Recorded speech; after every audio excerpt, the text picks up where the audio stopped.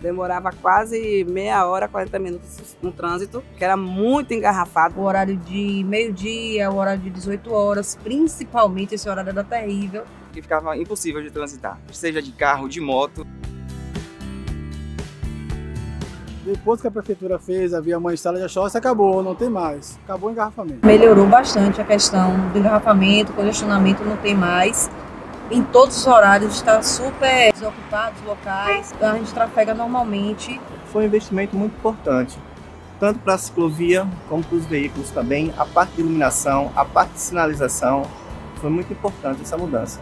Graças a Deus está uma maravilha. Chego em casa cedo, chego no trabalho cedo. O serviço que a prefeitura fez aqui em Salamares foi nota 10, foi brilhante mesmo, principalmente para a gente trabalhador.